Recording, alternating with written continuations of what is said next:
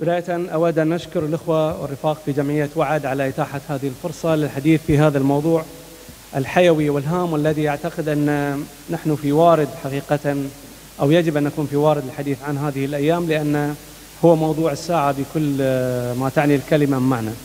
حاولت قدر الإمكان يعني أن أكتب الورقة بدلا من أن نتحدث بالعناوين لأن هناك في حاجة لأن أيضا نكون دقيقين في بعض الأرقام وبعض الحقائق خاصة وأن كل كلمة الآن تسجل وتتابع ويعترض عليها. حقيقة لأن يعني في أنا من قبل شهر عملت ندوة اقتصادية أيضا في التجمع القومي وذكرت أرقام من داخل تقارير وميزانية الدولة وفوجئت أيضا أو لم أتفاجأ حقيقة جاني اتصال عقبها بيوم من مجلس التنمية الاقتصادية يعترضون على الأرقام مع أن الأرقام مأخوذة من مواقعهم والغريب أنهم لا يعرفون بعض الأرقام التي في مواقعهم. بداية أقول ليس من السهل أبدا على المتابع للشأن الاقتصادي في بلادنا البحرين أن يدعي أنه يمتلك الحلول أو الإجابات الناجعة التي بالإمكان اتباعها والأخذ بها للحصول على إجابات للعقد الكثيرة المستحكمة التي تشكل في مجموعها حزمة من المسائل الشائكة التي لا يمكن لجهة بعينها أن تنفرد بالادعاء بقدرتها على وضع حلول لها. خاصة إذا علمنا أن السياسات الرسمية القائمة لم تترك لنفسها مزيدا من الخيارات أو هامش المناورة المطلوبة التي باستطاعتها أن تخرجها من أزماتها حين تحتاجها. نقول ليس من السهل استنباط الحلول واجتراح الإجابات لأننا بالأساس نفتقد عند قراءة واستعراض واقعنا الاقتصادي الشفافية المطلوبة والحقائق والأرقام والاستراتيجيات المتبعة إن وجدت وبالمثل. نفتقد التخطيط العلمي الذي يستطيع أن يرسم لمستقبل الاقتصاد وتوجهاته القادمة علاوة على أننا نفتقد أيضا أدوات التأثير الفاعلة حيث تغيب الشراكة الحقيقية في صياغة القرار الاقتصادي حتى في أبسط صورها ويزيدها سوءا انصراف السلطة التشريعية الحالية عن مناقشة واقعنا الاقتصادي والاجتماعي بصورة جدية وبروح وطنية. وفي المجمل لا يستطيع المتابع أو الباحث أن يبني مقترحاته على عموميات لا تستطيع أن تصمد في وجه ما نواجهه من تحديات اقتصادية وتنموية حيث يبقى التعاطي الرسمي في أحسن الأحوال مجرد شعارات تستخدم لتجميل الواقع أو لتمرير بعض السياسات أو التشريعات أو لتحقيق قناعات وقتية. لدى الشارع سرعان ما يتم نسيانها لاحقا.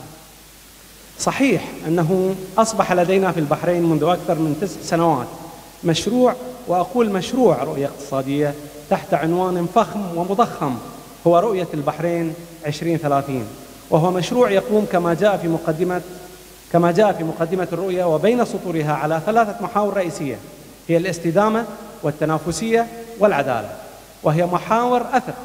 لو أنها طبقت على أرض الواقع لكنا في منأى عما يشغلنا حاليا من هموم اقتصادية واجتماعية كبيرة. لا نعرف ولا تعرف السلطة التنفيذية كيفية الخروج منها. دعوني أقول بداية أنني لا أعتقد أن القائمين على هذه الندوة والمتحدثين الأفاضل فيها لديهم الرغبة أو الواعز لمناكفة برامج الحكومة ومشاريعها الاقتصادية فقط.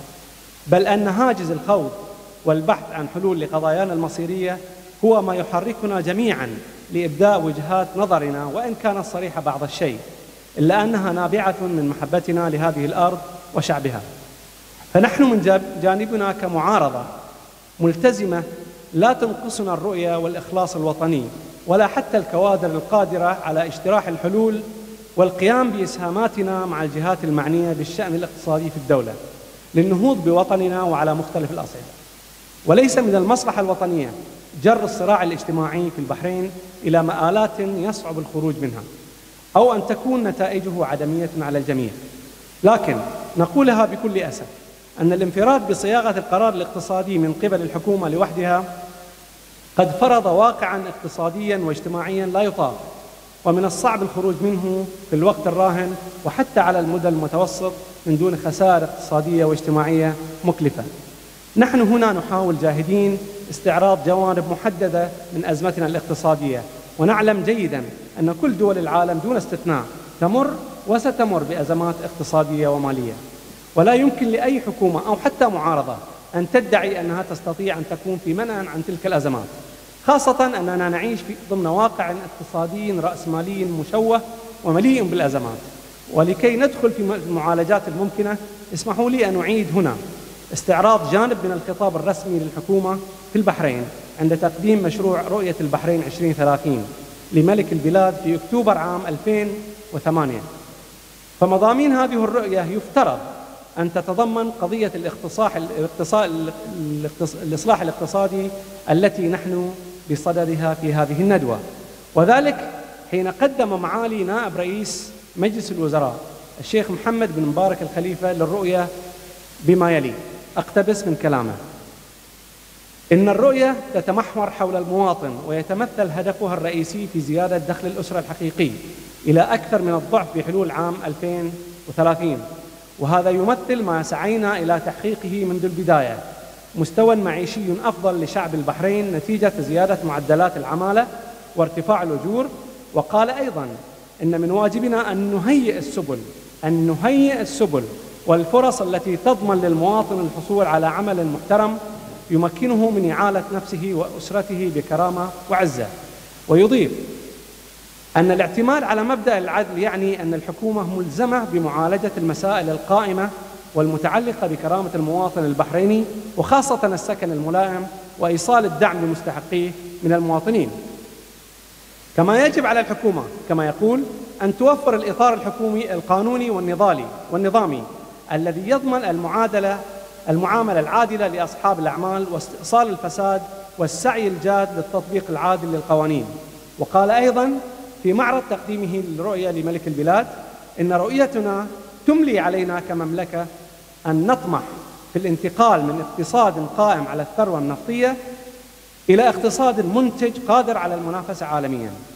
ترسم الحكومة معالمه ويتولى القطاع الخاص الرائد عجلة تنميته بشكل يوسع الطبقة الوسطى ومن المواطنين البحرينيين بحيث ينعمون بمستويات معيشية عالية جراء زيادة معدلات الإنتاجية والوظائف ذات الأجور العالية. وسيعتمد مجتمعنا وحكومتنا مبادئ الاستدامة والتنافسية والعدالة. لكي تتهيأ لكل مواطن بحريني السبل التي تمكنه من تجسيد قدراته الكاملة وعيش حياة كريمة آمنة. انتهى الاقتباس.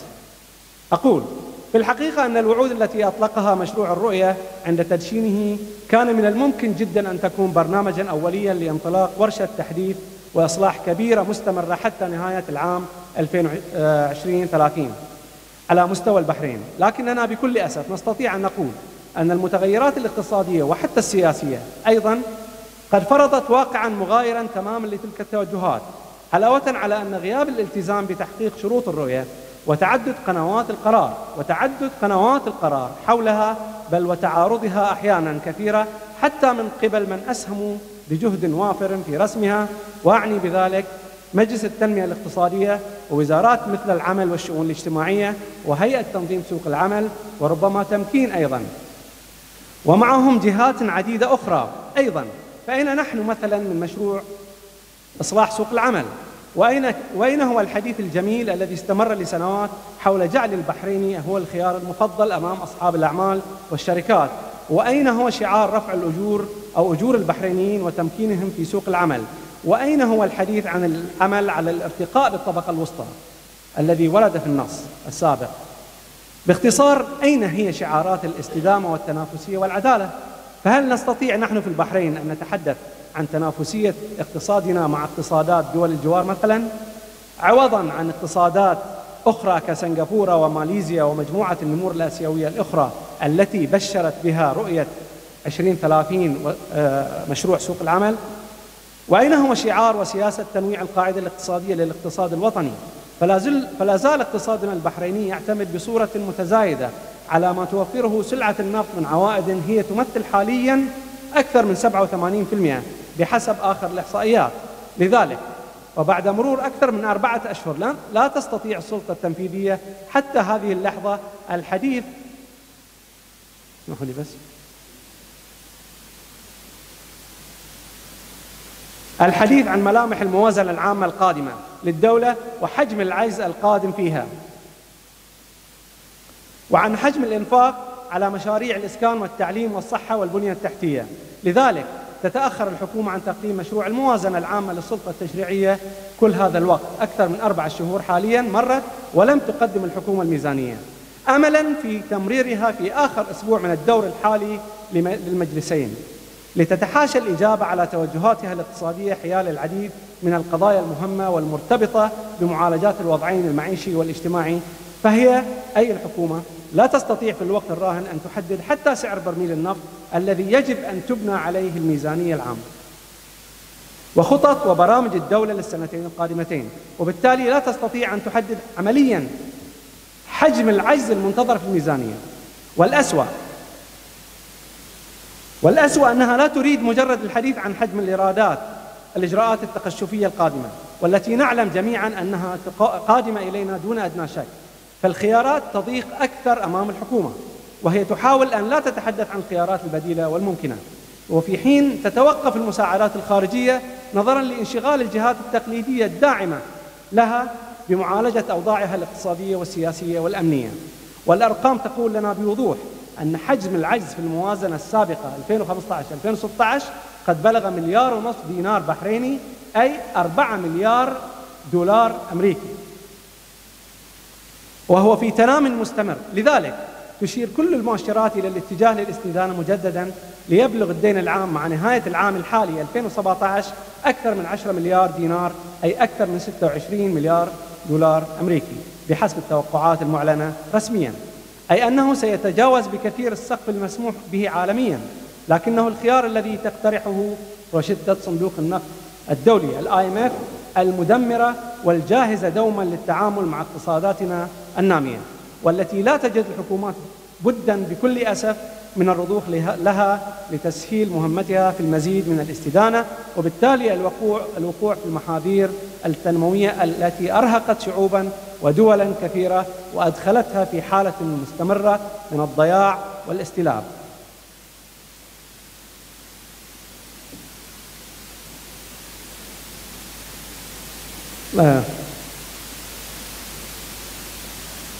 ومن الطبيعي أن يكون sorry أنا هذا شير عندي شوية لا أعطي شوية بس. وقت أنا آخر واحد يعني. ومن الطبيعي أن يكون ثمن كل ذلك وبالا على التنمية الموعودة وعلى سلة عيش المواطن وبرامج الرفاه الاجتماعي. كلنا يعرف أن زيادة وتيرة السياسات التقشفية وتحميل المواطنين أعباء إضافية سواء على شكل رسوم أو ضرائب غير مدروسة كضريبة القيمة المضافة التي تتجه دولنا الخليجية بتسارع لتطبيقها هذا العام. وبداية العام القادم هي في المحصلة إجراءات تقشفية معادية لمصالح الغالبية العظمى من الشعب. وهي إجراءات لا تستهدف تحقيق استراتيجية تنموية أو استدامة ولا حتى عدالة كما تبشر بذلك رؤية 2030 وبالمثل هي لا لا تطور من مستوى الخدمات المقدمة للناس ولا حتى تساعد على إعادة تشغيل قطاعات تنموية متراجعة أو منهارة أو في طريقها للانهيار. كما أننا لا نجد في حيثيات التوجهات التقشفية هذه ما يوحي بإعادة هيكلة الموازنة العامة.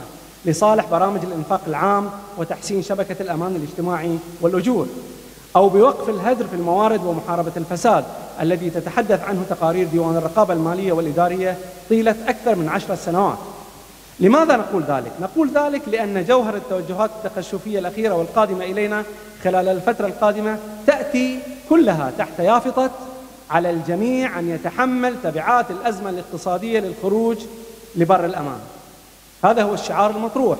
إذا لكي نكون متحدين ومتعاضدين في مواجهة الأزمة المالية يجب أن نكون على ثقة في عدالة الإجراءات المتخذة وعدم أساسها بجوهر المكتسبات المعيشية للمواطنين والمتقاعدين والفئات الضعيفة من المجتمع. أي أننا نريد كمواطنين إبقاء شبكة الأمان الاجتماعي والتي تتطلب مزيدا من الشفافية والوضوح وضرورة الإصغاء الرسمي لشراكة مجتمعية حقيقية في صياغة القرار الاقتصادي والتنموي في البحرين.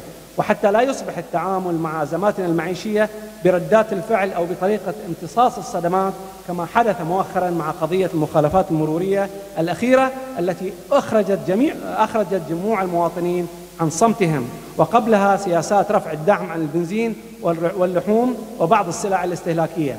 باعتقادي لقد أعطيت السلطة التنفيذية أكثر من الوقت الكثير من الوقت لإصلاح الأوضاع الاقتصادية وكان أمامها فرص حقيقية لكنها أضاعتها. وتحديدا منذ حل البرلمان في أغسطس عام 1975 مرورا بالطفرات النفطية المتكررة وآخرها عندما تجاوزت أسعار النفط 120 دولار للبرميل والتي يفترض أنه قد تحققت خلالها فوائد مالية ضخمة إلا أن الموازنات العامة للدولة طيلة تلك السنوات الماضية. كانت في أغلب الفترات تحمل عجوزات يتم إطفاؤها باستدانة خارجية وداخلية دون أن نلمس إصلاحا اقتصاديا مؤثرا.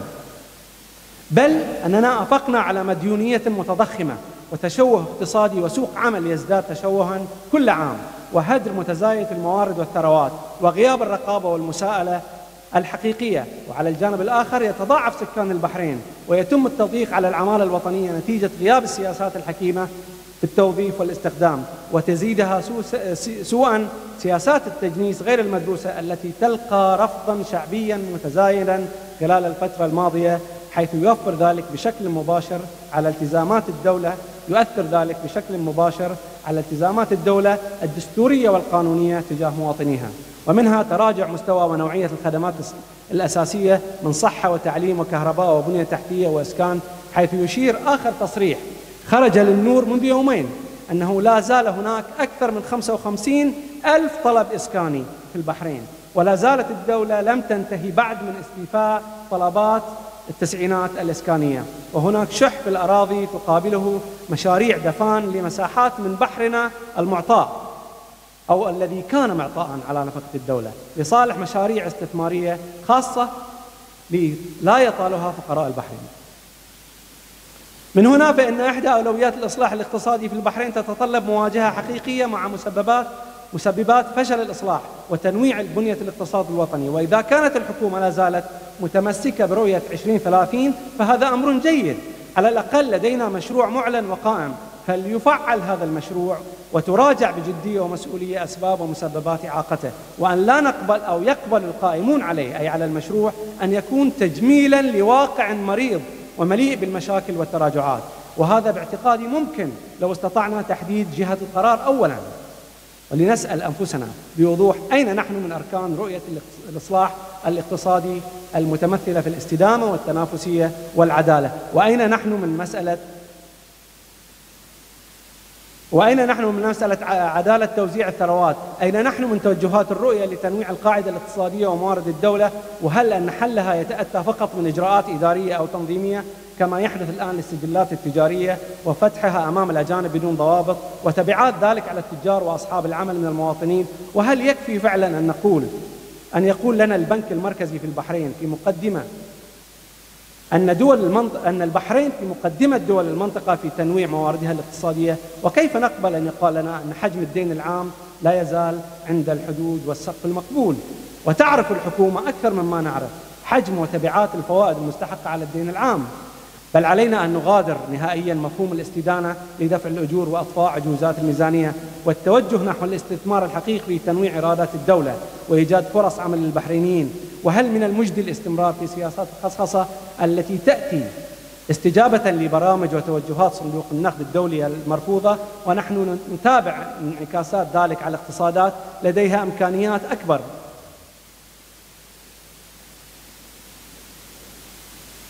آه، أنا قريب بخلص يعني. بس